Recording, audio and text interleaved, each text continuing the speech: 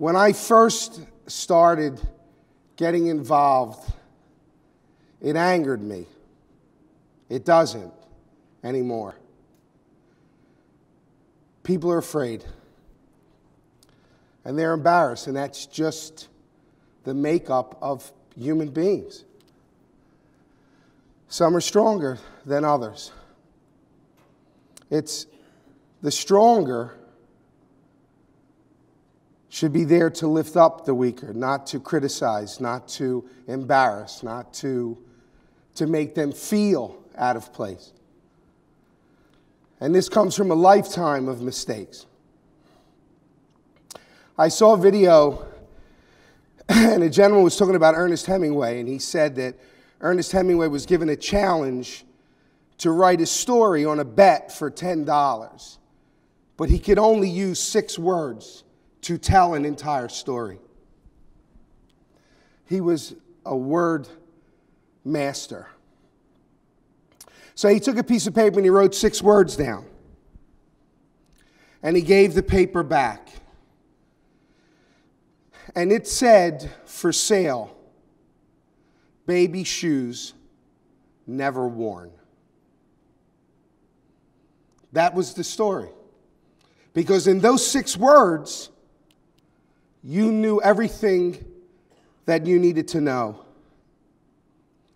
Well, we all share one story, and it is six words.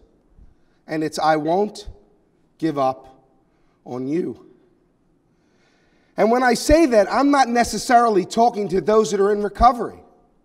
I'm talking to you because we tend to always give up on ourselves. Those that are struggling with addiction feel unloved, they feel despair. Because in the end, you can put up all the graphs and you can tell all the stories. But there's one common truth that resides in every single individual sitting in this room is we all just want to be loved. That's all we want. And we seek it out. We need it. We don't just want it, we need it. I didn't see it. I looked at life from a strong and a weak perspective. And I got the phone call that no parent wants. That's a lottery you don't want to win. So, two things happen when you lose a loved one. Your brain is not wired to lose a child. We're not taught that. We're taught we'll lose parents and grandparents and aunts and uncles and cousins and siblings. But they don't teach us how to cope with losing a child. We're not wired that way. So we have two choices when that happens. We can give up. And let me tell you something if you haven't lost a child,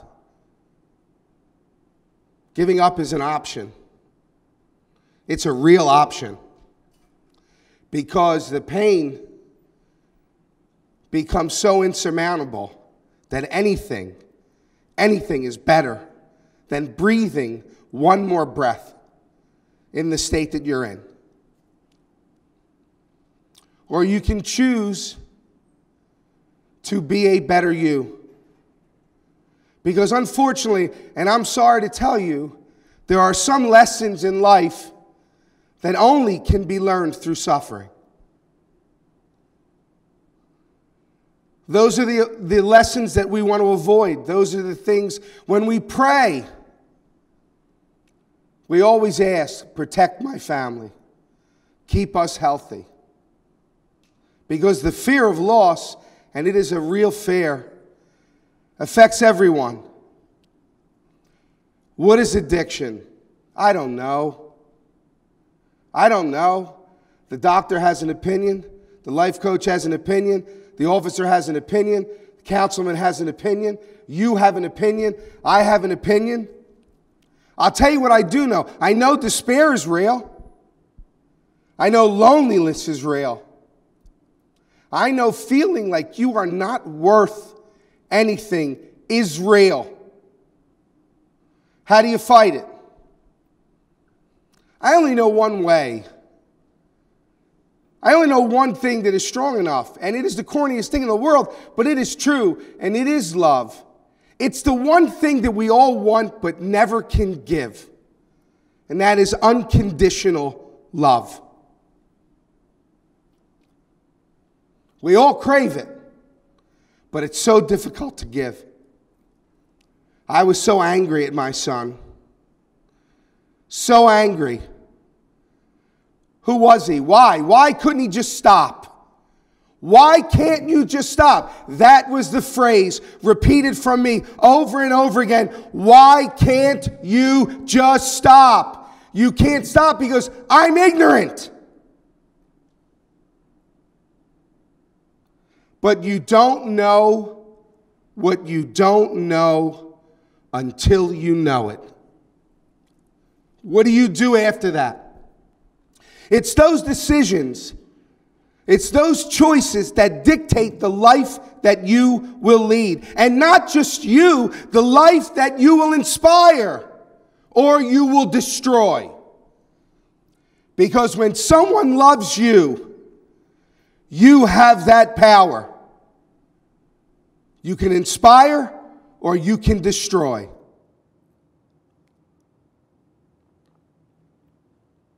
So I come and I speak. I'm not an expert at anything.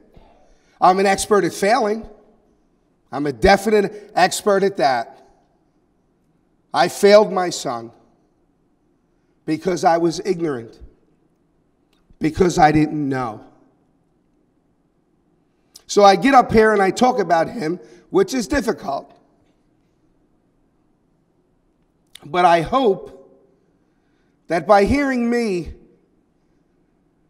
I don't feel guilty because I didn't know, but I was ignorant.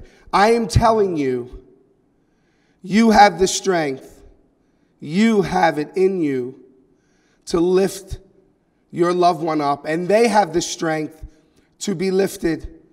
They're in a cage that has no bars, but they can't leave. They need to know that they are worth it. Because I'm telling you, every time you tell them that they're not, and they hear it from everyone, they wake up one day and they go, I'm not worth it. And then the worst thing that can happen is they feel like they are a burden to you. That's how my son felt. He said to me, Everyone would be better if I was dead. That's how he felt. And I was angry. How dare you make that statement? You got a good family, you got a good life. How dare you? The truth was, how dare I? So I come up here and I say these things in the hope that you can hear me and that you don't make those mistakes. The mistake of not knowing. Now you know. You've been given every information. I sat here for, for two and a half hours and I learned a ton. I learned that I am humbled by the speakers that came before me. I am humbled at the dedication and the work that they do. I, I personally, with my own eyes, seen a doctor on a 10 hour, 12 hour shift go out to a waiting room and speak to every single patient that was waiting to be seen to reassure them, I didn't forget you. I'm here. Don't be afraid. Because fear controls us, and it shouldn't, but it does. Afraid of failure, afraid of dying, afraid of illness. The fear of letting your family down is the strongest fear those that are struggling with addiction feel. That's not your loved one. That is addiction. Recognize what it looks like. But your loved one is there begging to come out. Give them the strength to do that. Make a difference in them. Go on your phone. Everyone's, everyone is glued to their phone.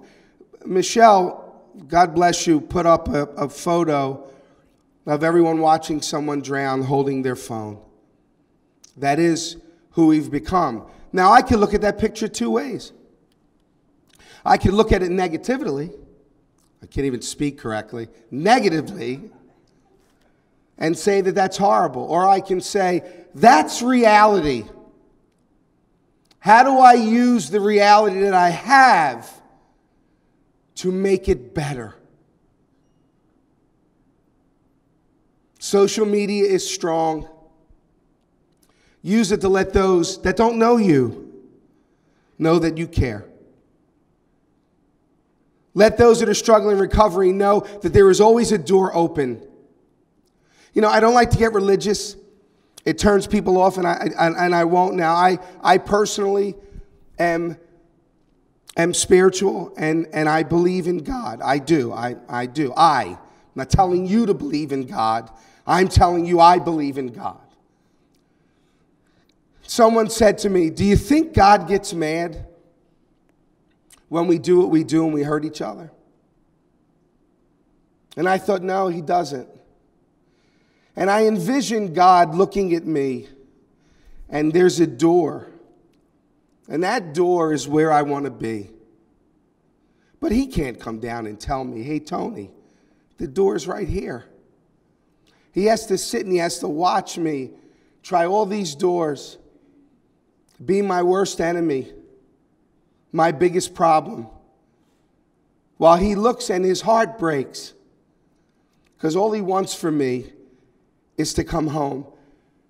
You love your child.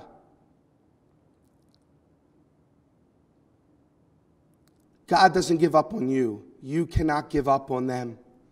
I'm asking you for a very difficult thing to tell you that you need to love them unconditionally, that you never can give up on them. I'm not saying that just to say it. I lived it. I know how difficult it is to make that happen because you just get tired. But they have to know that there is hope, that there is hope every day. And you have to spread the word not in a, not in a condescending manner, not in shaming someone. You need to go out there tonight. You need to put these phones on. You need to FaceTime live when these brilliant people get up here and try to give solutions to these problems. We know what the problems are. Anybody can tell you what the problem is. It's the solution that we want to hear. And the solution is, in, is within you. It's not the, medical, the meds that the doctor's going to give you. It's not the pep talk that anyone can give you. It's within you. It's the love that you have within you is going to save your loved one and you because I heard earlier we're all in recovery. We are. If our loved one is in recovery, we are in recovery. And you want to know something? No one seems to care about the family. And the family's carrying a lot of weight. A lot. A lot. I had someone in recovery come up to me and say, You know, I never looked at it from that perspective. I never saw it through the eyes of my parents. Because addiction is a selfish disease. And everyone is working so hard. And yes, I'm saddened by the amount of people that are here, but I'm also hopeful that those that are here are strong and dedicated and will take everything they've learned here tonight with them so that no other parent gets that phone call. No loved one is taken from us. I wish everyone could die from old age. I do. But that's not life.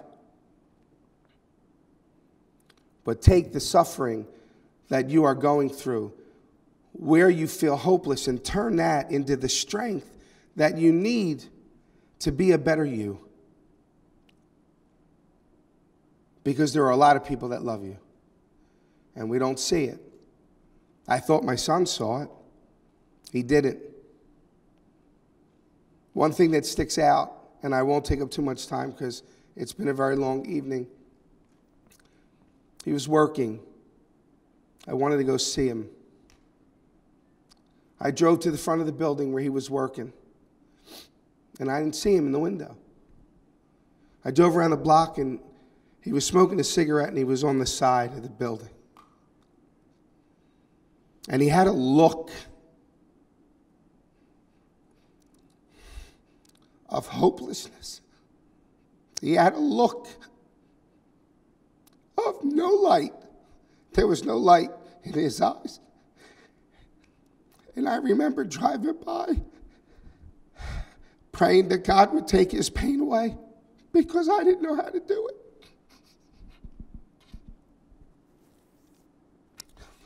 You've been given more tools than I had. And that's not your fault, it's mine. I didn't look for it because we don't get involved until it affects us, in mo- like most things in life. Don't throw away those tools. And believe me, there is nothing stronger than love. Nothing. We die for it. We stand in front of a bullet for it. That kind of power can really do anything. Leave a door open in your heart for those that are struggling and let them know that it's there. And never, ever, ever give up on them because it's too late when they're not here. Know that you've done what you can and let them know that they are worth it. And you're worth it. You are worth it.